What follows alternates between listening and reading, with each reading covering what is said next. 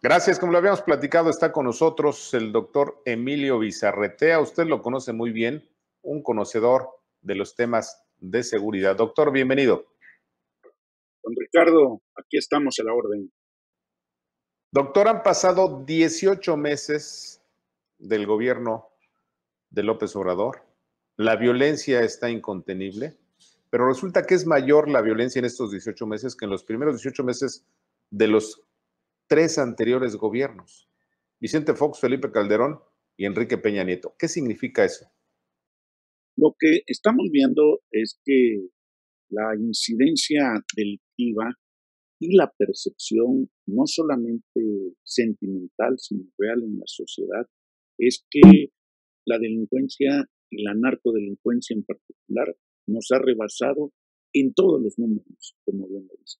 En esta administración, lo que ha ocurrido es que tenemos el día más letal, la semana más letal, el, el, mes más letal y el, trimestre y semestre más letales. Es decir, han muerto muchos más que en los últimos tres sexenios que habían ocurrido. Es decir, considerando la etapa de Fox, Calderón y Peña, en este momento hay que decirlo, estamos más que rebasados. Y hay que decirlo también, la tesis del presidente y del secretario Durazo de que están disminuyendo y van a la baja, con todo respeto, yo tengo otros datos y van a la alza. Es decir, la tendencia o están diciendo mentiras o están diciendo ocurrencias o están queriendo engañar a la sociedad. Doctor, mucha gente pregunta dónde nos perdimos para llegar a estos niveles de inseguridad y de violencia. Sin embargo, nosotros hemos dicho que el problema es que los que llegaron, al parecer, no sabían dónde estaban parados.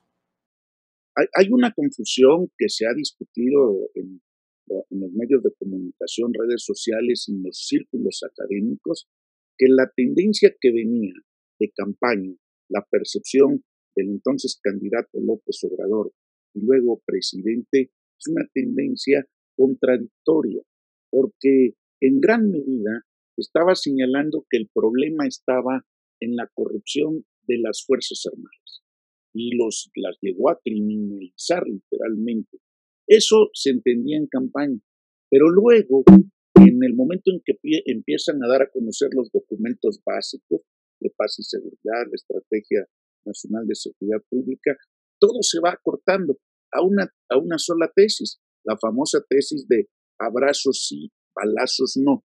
Pero en realidad, en el fondo, lo que más genera discusión, eso puede ser parte de un discurso muy popular, digamos, para el consumo de muchos sectores, es que existen en gran medida señalamientos directos para no perseguir los objetivos que ya se venían, los objetivos criminales, delincuenciales, que ya se venían siguiendo y que de alguna manera había en las áreas de inteligencia y en las áreas de las Fuerzas Armadas y Policíacas una estrategia más o menos avanzada, ajena a la politización de la narcocriminalidad.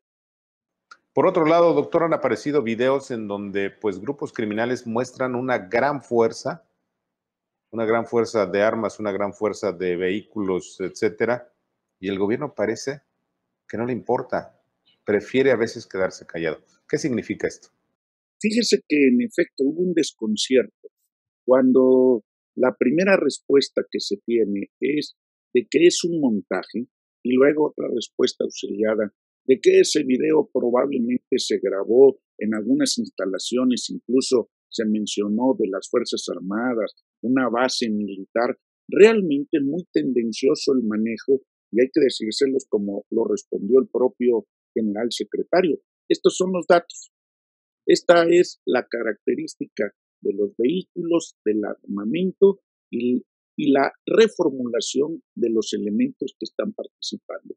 Es decir, no llega a ser un ejército, pero sí es un grupo de élite, como ellos se han autonombrado, con material suficientemente explosivo para generar problemas en municipios muy importantes del país. El, el músculo que mostraron es un reto, es una amenaza abierta. Pero aquí tiene que tomarse la decisión, insisto. hay una cadena de mando, una cadena de mando que proviene del presidente de la República, va descendiendo a los titulares en las Fuerzas Armadas, Marina, Defensa y en particular a la Secretaría de Seguridad Pública. ¿Y a dónde nos lleva esto? A que los operativos disminuyen. No hay persecución de los objetivos, salvo cuando se dan confrontaciones abiertas por rondines que hemos visto todos en su momento. Bueno, doctor, las críticas incluso, cambiando un poco el tema, han llegado a nivel internacional. Distintos medios internacionales ya dicen que México está gobernado por el crimen organizado. ¿Qué decir a esto? Sí, no me atrevo a decir que gobierna, pero sí lo hemos comentado en su momento. Mire, e, el narcotráfico o la narcodelincuencia en sí, es un factotum, es decir, es el poder tras el poder. Ellos no van por las posiciones, no les interesa, cuando menos por ahora. Vamos a ver qué ocurre en las futuras elecciones del próximo año. Pero junto con la narcodelincuencia, hemos detectado que el presidente Trump de Estados Unidos es precisamente tanto él como este grupo incierno, los capos en sí mismos, para decirlo, y algunas sucursales de grupos criminales, tienen la fuerza para modificar las acciones y decisiones del inquilino de Palacio Nacional. Pero a ver, está también este tema, doctor, de que el presidente, cuando era candidato y cuando llegó, eh, sus primeras declaraciones dijeron, dijo que se iba a acabar con el crimen, que no habría eh, pues eh, matanzas, ajusticiamientos, etcétera.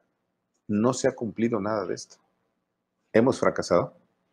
A, mí me parece que el, presidente tiene una contradicción en sí mismo, de su percepción. Su idea que tenía de las Fuerzas Armadas en realidad se ha modificado por el tipo de responsabilidades que les ha ido otorgando. Pero no son fuerza de trabajo. Las Fuerzas Armadas no son para cumplir ciertos caprichos que se están manejando porque no tiene recursos el gobierno y entonces tiene que acudir a quien le resuelve el problema que son las Fuerzas Armadas. No, con todo respeto lo digo, el presidente tiene que entender que el tema de seguridad es un tema muy especializado. Nadie está esperando de él que sea un experto, ni mucho menos, con todo, con todo el respeto. Pero los datos son terribles. Esto que le ocurrió a él en la reciente gira, la de Guanajuato, Jalisco y Colima, yo pensé que había salido huyendo por las manifestaciones que tenía fuera de los lugares donde estaban. Cuando aparecen los videos y aparecen los señalamientos del propio secretario Durazo y él tiene que tomar helicópteros y aviones, nos damos cuenta que alguien le dijo, bueno, pues es ya es un riesgo que nos está sobrepasando. Esto es aventurarse a unas decisiones. Nada más que él, con todo el aparato que trae de seguridad, aunque él diga que son 20 del servicio secreto este, no, estamos hablando de una cantidad de 2.000 gentes que se están movilizando en cada gira. ¿eh? Con todo respeto, es lo que están viendo todos los periodistas locales, lo señalan, todas las vallas y los controles, pero ese es otro tema. Aquí lo que queremos decirle, la situación es grave, la situación es trágica, estamos casi entregando plazas por no intervenir en una decisión concreta. Nadie quiere baños de sangre, don Ricardo. ¿eh? Esto hay que decirlo porque luego dicen, ah, ustedes quieren que haya esto. No, los baños de sangre se siguen dando en todos los lugares que están.